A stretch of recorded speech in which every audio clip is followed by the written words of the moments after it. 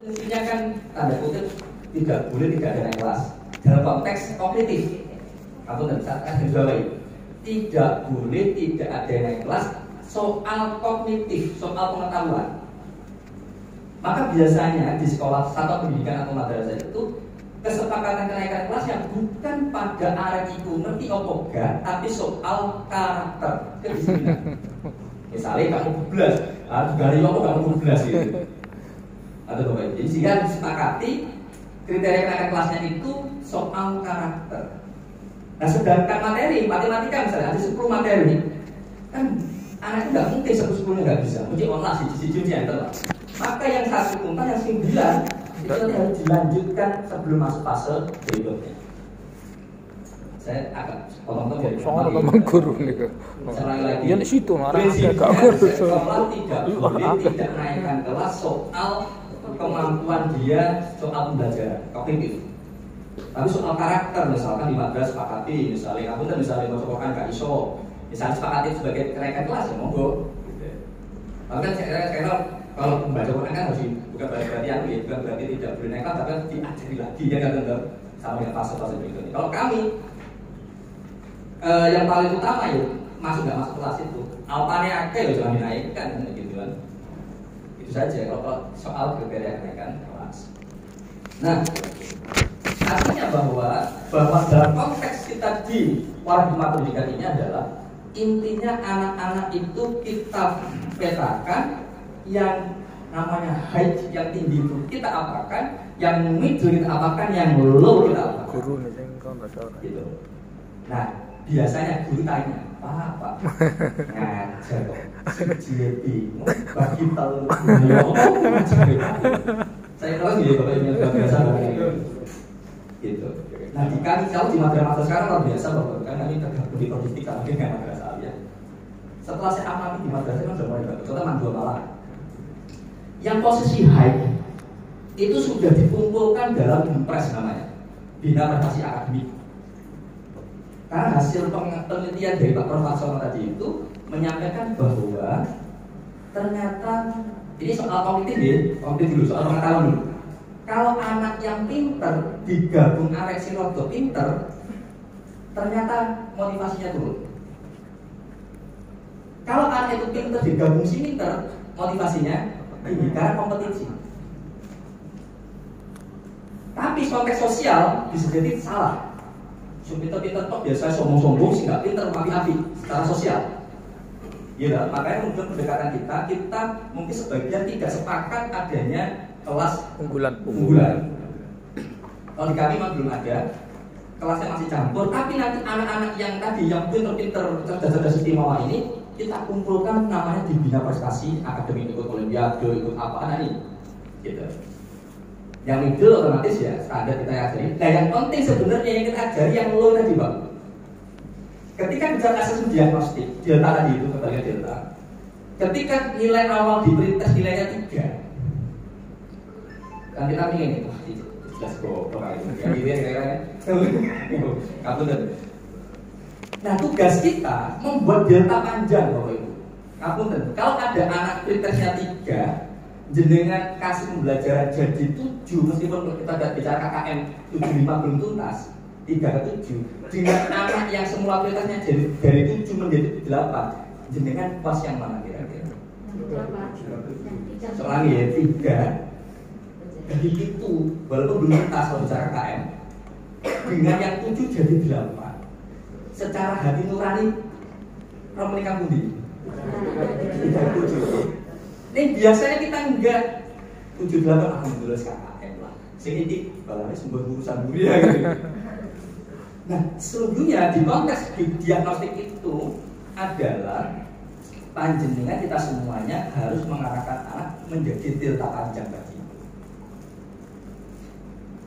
Nah, apunten soal assessment Bapak Ibu, saya terus terang akhir-akhir menjadi kegalauannya tingkat tinggi. Mungkin dulu kira-kira ya beberapa minggu yang lalu itu masih mindset saya penilaian asesmen Bapak Ibu terhadap asesmen diagnostik ada formatif ada sumatif dulu ya karena sebulan yang lalu ya nilai sumatif prosentasenya terkecil. Jadi formatif yang terbesar. Nah, kok beberapa minggu yang lalu baru sama kok. Formatif tidak dipakai sebagai penilaian, yang dipakai assessment sumatif. Lapor doa. Balik malih kok itu. Di KPA, PPA sama. Iya. Kalau kata banjo, lebih ini malah ya. Saya itu pak, jadi baru lupa tuh, saya lupa nomor ini ya. Baru saja jadi asesmen formatif yang dulu saya itu terus terang orang penganut asesmen formatif yang tinggi itu. Kenapa begitu? Karena mau aja dihapus. Iya loh, karena tidak mungkin anak itu bisa dalam waktu satu eh satu yang tadi loh. Belajar waktu harinya sakit ya bro. Sehingga saya senang formatif itu balik berarti ada ada apa? Ada progres prosesnya. Iya, proses. Nah, saat ini usah dipakai, Pak. Ini salah sopo saja. Walaupun di kami swasta sih alhamdulillah urusan buri. Tapi soal nanti dengan soal penerapan itu termasuk pengawas kan ditanya oleh Pak Magat sambil Bu Pak, ini ini pripun. Nanti tadi dengan nggak setuju tapi faktanya harus begitu. Harus begitu. Ya sembuh lah ya gitu. Regulasi. Sekarang pula, Pak. Itu soal assessment Bapak Ibu ini ini yang sebenarnya saya itu ingin mengatakan bahwa saya sepakat dengan kurikulum ini sangat senang sebenarnya ketika format Oh, kacang sebagai, apa? Sebagai core dari assessment itu. Jadi diagnostik kemudian informatif saya senang. Lama ternyata sekarang berubah. Karena tadi kita saya hanya berharap benar-benar Bapak Ibu setelah dari saya memberikan berbagai praktek tadi ini semakin bingung gitu. Itu artinya dia berpikir. Yang perlu puas kadang-kadang ada dua kemungkinan sih jika ngerti, seluruh kan ngerti ya gitu. Dan jadi kan nggak ngerti kan selama ini saya lagi ya ya. Jadi kan semakin bingung gitu ya. Ini situasi hari ini Bapak Ibu karena terus terang persoalan kurikulum seperti tadi Pak eh, Kepala Proyek mengatakan memang betul. Perubahannya sangat cepat. Apalagi kami Bapak dari ini yang persoalan-persoalan yang saya sangat dulu di depan depan aja dengan memahami. Di terutama di Australia atau di SMA kelas 10 tidak ada peminatan Iya. pertanyaan nanti terus mau perguruan tinggi ini mau dari opo nah, gitu kan? Kalau yang angkatan kedua tiga mungkin banyak ya seluruh. Nah kalau anak pertama bapak itu cuma 2000 sekolah atau sekolah-sekolah ya sekolah dari mulai dari TK, SD, SMP, SMA itu 2000 sekolah pertanyaan besok kalau masuk ke negeri ini modelnya begini. PTN lebih jili deh so, modelnya beda. Modelnya beda gitu ya.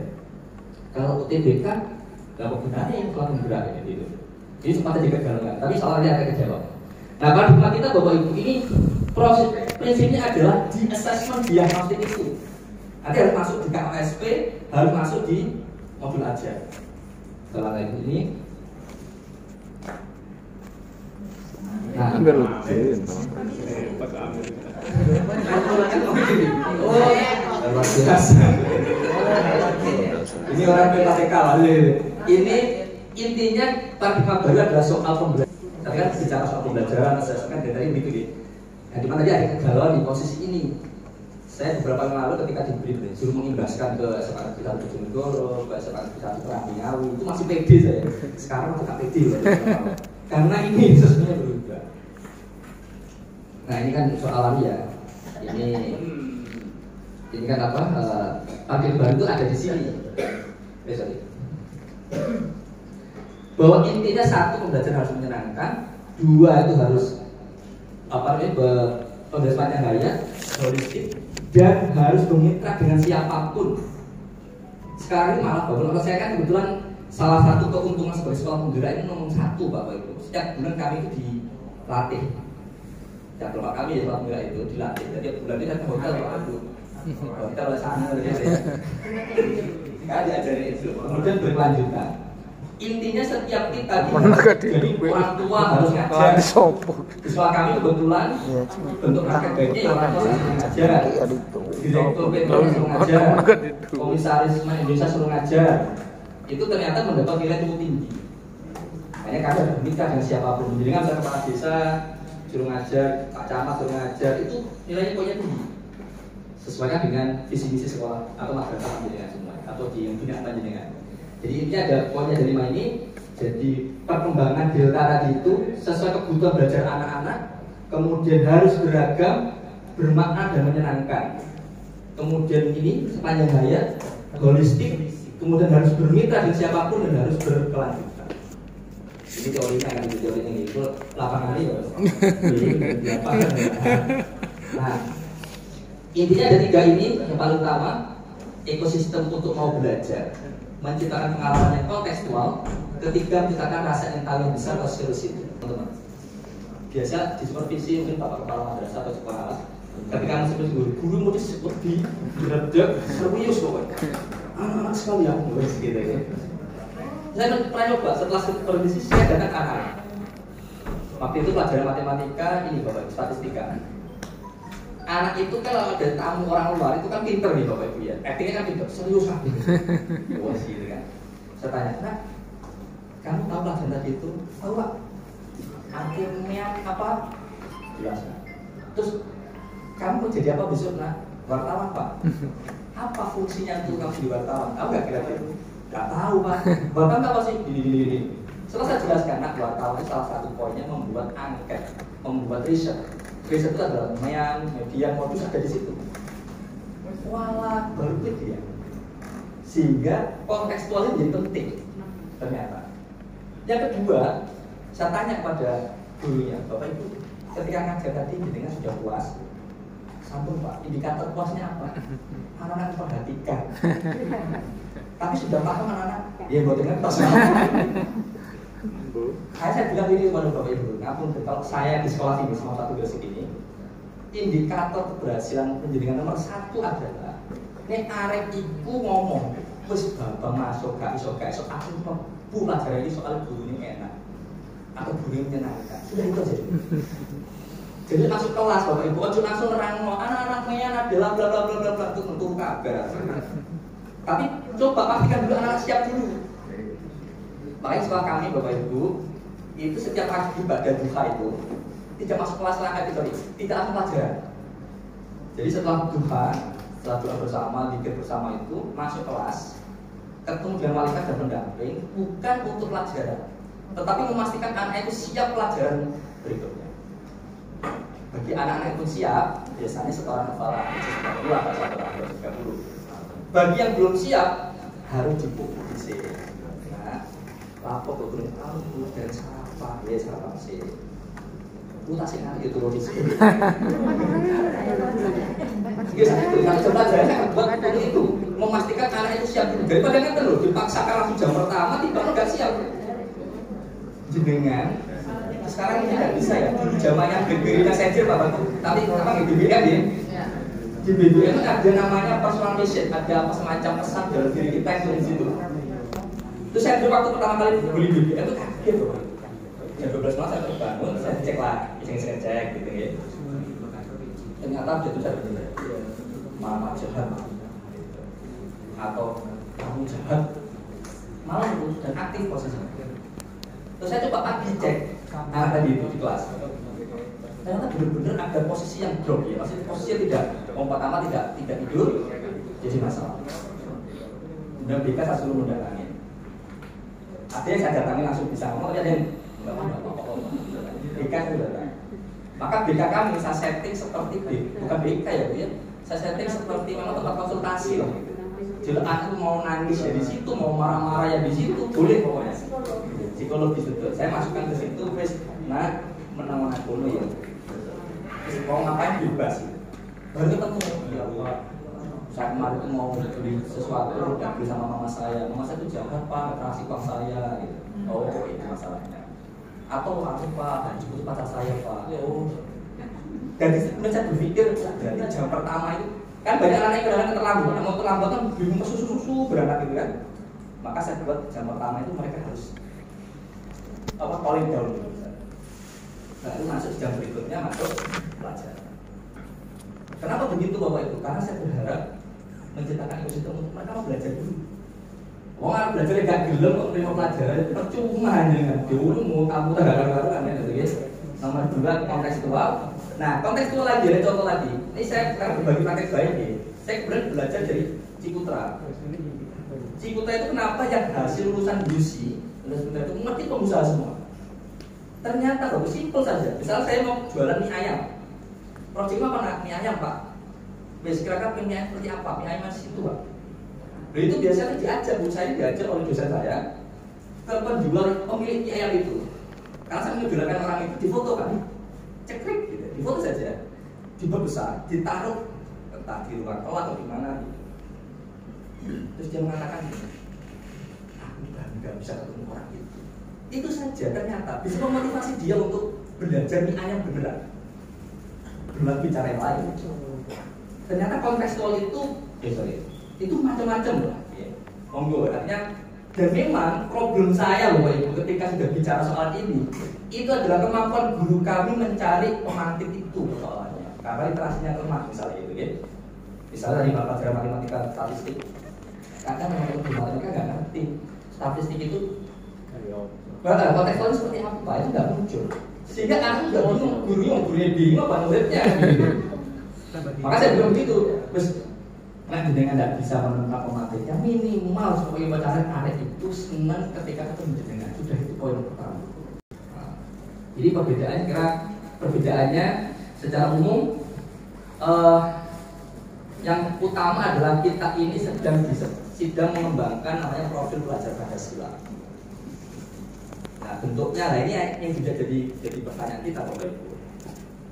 Di dalam modul ajar memang harus bentuk. Tapi profil kaderisasi ini di dalam apa IKM itu fokusnya pada proyek. Jadi nanti ada dua kan, ada intra, ada co. Nah di profil pelajar Pancasila ini itu daya tekannya kemaskerasnya ada di co-kurikuler dan itu tidak ada kaitannya dengan apa? Salah lagi, pengembangan profil pelajar Pancasila itu harusnya kan ada intra dan kokurikuler ya. sedangkan stressingnya daya tekannya di di pembelajaran di IKN Islam Tenggara itu justru di pro, di project profil pelajar Pancasila di kokurikuler nah, terus pertanyaan Pak kira-kira kalau di kalau di kami juga kalau di kalau di itu apa namanya? Sim. kira-kira aman nggak Pak? Nah, gitu ya nanti kita bahas. Assalamualaikum sama ibu guru madrasah insya Allah. Nah kemudian yang kedua dulu ada KIKD sekarang namanya fase. Fase A sampai F. Kalau di SMA kalian itu E dan F. E nya di kelas 10 F nya di kelas 11 12 nah kemudian ini kurikulum struktur kurikulumnya itu adalah pembelajaran rutin atau intra tadi itu yang kedua ada project. Jadi terpisah. Soal kemudian di intra panjenengan mau project boleh. Tapi beda dengan project profil pada sekarang itu kami. Karena di profil di project ada sendiri. Waktu PAT kemarin atau sumatif kalau di kelas 10 kalau PAT kelas 11 12 itu ada set tematik untuk project. Ada buat layak-layak kemudian masa yang itu kemudian penilaiannya dari seluruh materi Waktu itu kami mencoba men-trial. Kan kami pasarnya masyarakat kan orang tua nih Saya share pada orang tua. Orang Ini nonton mas daripada orang mikir Mau izinin elek mau hari itu dan Mendingan tematik saja. Tapi guru-guru ada yang masih kolot Masih masih konservatif Pak kalau yang tidak inti bener Pak. Yang inti jangan oke Kita bagi dua. Yang inti kalau tulis Yang tidak inti menggunakan project Atau by festival. Kalau kita bicara kurikulum ya berbasis festival. Ya jadi lagi jadi Poin pertama adalah profil pelajar Pancasila, yang kedua per fase-fase tidak ada kaitnya, ketiga intra dan co-curricular. Nah, kemudian yang ke berikutnya adalah pada kurikulum 2012 pendekatan saintifik meskipun sebenarnya juga based on student, dari student center sebenarnya, tapi sering kali karena ada KKM menjadi tidak tidak menjadi diferensiasi menjadi umum apa? Mono ya mono mono mono ini. Kalau kalau ini tadi ada high, ada mid, atau ada medium, ada low. Dan itu harus masuk di modul aja. Kalau ini kan yang penting KKN. Ya, utama Kalau ini bapak ibu nanti muncul yang high dengan apakah di modul aja, sing middle di apa modul aja, sing low juga muncul di modul aja. Jadi pengawas nanti mengeceknya di situ.